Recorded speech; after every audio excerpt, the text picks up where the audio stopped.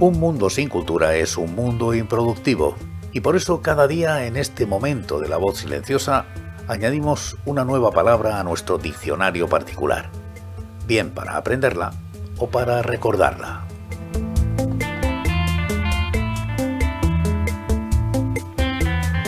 Definición de burguesía de la web definición.de. Los seres humanos vivimos en sociedad. Este concepto, que procede del latín societas, se utiliza para nombrar al conjunto que forman aquellas personas que comparten un territorio, una cultura, etc. Dentro de una sociedad es posible advertir diversas divisiones simbólicas que separan a los individuos en capas o clases. La noción de burguesía se usa para nombrar a una de estas capas sociales, más específicamente la que forman los sujetos que ocupan uno de los estratos medios superiores. Puede decirse, por lo tanto, que los burgueses son personas de clase media alta.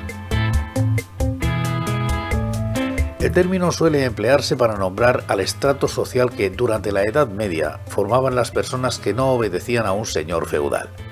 Los sujetos que producían artesanías por su cuenta o los comerciantes, por lo tanto, eran los integrantes de la burguesía de la época, situándose por debajo de quienes ejercían el feudalismo, pero por encima de los siervos.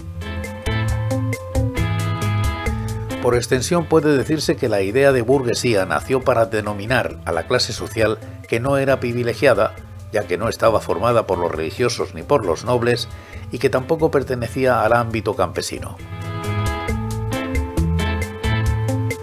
La burguesía fue clave para la caída del antiguo régimen y la instauración del capitalismo.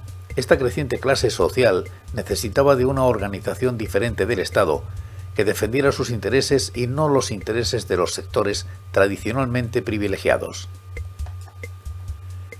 Entre los valores que históricamente defiende la burguesía se encuentra el derecho a la propiedad privada, la división de los poderes estatales y el fomento de las posibilidades de ascenso social. En la actualidad el concepto de burguesía es más difuso y sus integrantes más difíciles de explicitar que en la Edad Media. Por lo general, se califica como burgués a un integrante de la clase media cuya posición política combina liberalismo, sobre todo en materia económica, y matices conservadores, ya que suele oponerse a la conquista de derechos por parte de las clases más bajas para no ceder beneficios propios. Uno de los conceptos que a menudo surge en relación con la burguesía es la ilustración, una etapa de la historia que, en palabras del teórico marxista Lucien Goldman, forma parte de la evolución global del pensamiento burgués. La ilustración fue un movimiento intelectual y cultural originado en Europa que se centró principalmente en Inglaterra y Francia y que se extendió desde fines del siglo XVII hasta comienzos de la Revolución Francesa y que se caracterizó por apoyarse en la razón para conseguir que se disiparan las tinieblas de la humanidad. Los defensores de la Ilustración aseguraban que la ignorancia, la tiranía y la superstición podían ser combatidas con ayuda de la razón. Este movimiento, gracias al cual el siglo XVIII llegó a conocerse como el siglo de las luces, fue muy importante para la economía, la política y la sociedad en general los valores y los intereses que se identifican con la burguesía se vieron beneficiados por la Ilustración, así como ocurrió con el enciclopedismo. El enciclopedismo fue un movimiento pedagógico y filosófico que se apoyó en la edición de una enciclopedia francesa a mediados del siglo XVIII, dirigida por Jean d'Alembert y Denis Diderot.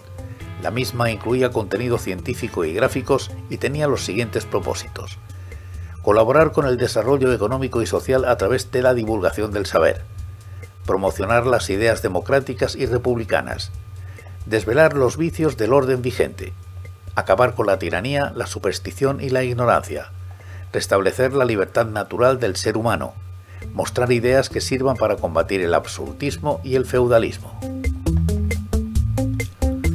El lema revolucionario libertad, igualdad, fraternidad tan oído al estudiar la burguesía resume los conceptos que cobraron especial importancia en parte gracias a las aportaciones de los dos movimientos recién expuestos, la Ilustración y el enciclopedismo.